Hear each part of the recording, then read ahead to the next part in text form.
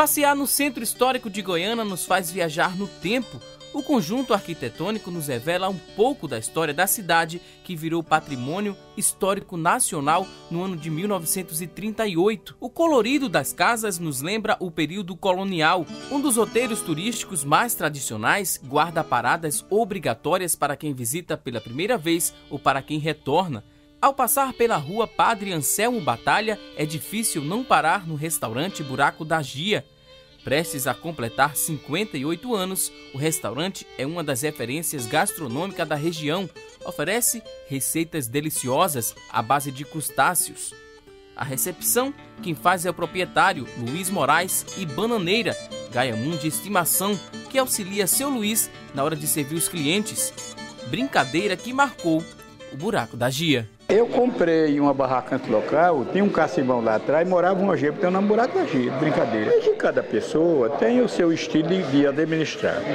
Eu gosto mais de conversar do que mesmo de vender as coisas.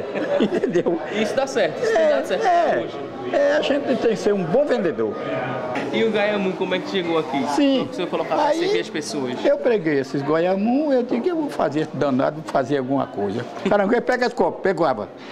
Vamos andar, vamos correr, vamos. Faz assim, senão vai para a panela. Ele com medo para a panela. Começou a obedecer os comandos. Ele entender, falar bem português, o caranguejo fala bem português. Eles começaram a obedecer e começou a virar uma atração. Aqui. É, é, é. E eu, você vê, eu, Deus me iluminou das coisas, que eu não enjoei de fazer essas coisas. Várias personalidades já conheceram o local, como Jânio Quadros, Juscelino Kubitschek, Gilberto Freire, entre outros todos os ilustres visitantes ganham espaço nas paredes do restaurante. É, Ave Maria, não chegar ninguém aqui, eu tô morto. Eu moro aqui, minha casa aqui de lado. É bom você conversar com quem chega. É, quem chega quem vai atender logo sou eu. O que o senhor acha dessa cidade? O que Olha, Goiânia representa para? Goiânia tem 432 anos, as duas cidades mais velhas do Nordeste é Goiânia e Garaçu. Garaçu tem 434, Goiânia 432 o Brasil, inclusive o Nordeste, é crescer agora, é crescer o desenvolvimento do Nordeste. Primeiro era só era Sul, Rio de Janeiro, São Paulo, hoje eu já chamo Pernambuco, São Paulo do Nordeste. Nesta mesma rua encontramos o primeiro museu particular do pintor Zé do Carmo. O artesão deu os primeiros passos nas artes ainda quando pequeno. Em 2006, a Fundação do Patrimônio Histórico e Artístico de Pernambuco reconheceu Zé do Carmo como patrimônio vivo. Eu fui curti como artesão até 1980. Para mim, foi bom porque me deu inspiração. Desenvolver o meu talento artístico para fazer, para transformar a figura humana em anjo. Eu sou inspirado no homem do Nordeste. A minha inspiração é forjada dentro das nossas tradições nordestinas. Forjada. Isso, faz isso com muito prazer. Com Não, com, eu faço com amor. Mano. Faço com amor e não é para ganhar dinheiro. Desde menino, olha, sou dedicado à minha arte, desde criança, com a minha mãe, que eu aprendi, acabei de dizer, que eu aprendi a minha arte, lá com a minha mãe. Nunca fui empregado. Toda a vida vivi da minha arte.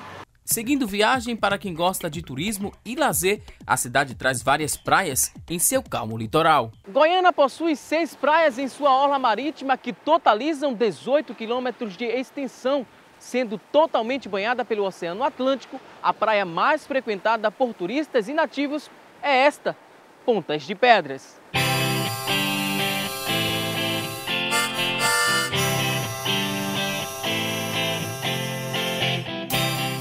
E em busca dessa bela paisagem que Valdir Costa vem sempre do Recife aproveitar com a família a praia de ondas fracas e areia fina.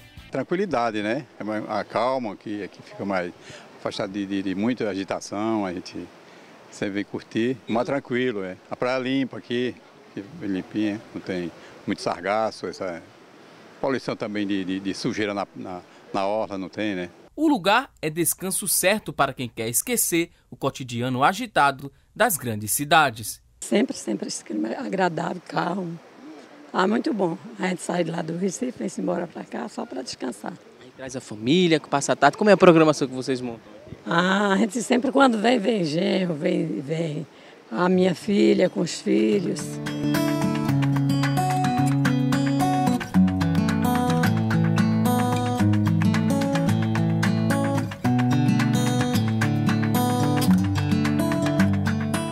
Outras praias também frequentadas são Carne de Vaca, Barra de Catuama, Praia de Catuama, Atapuz e Tabatinga. Entre as belezas naturais, patrimônios vivos e prédios históricos, Goiânia encanta a todos.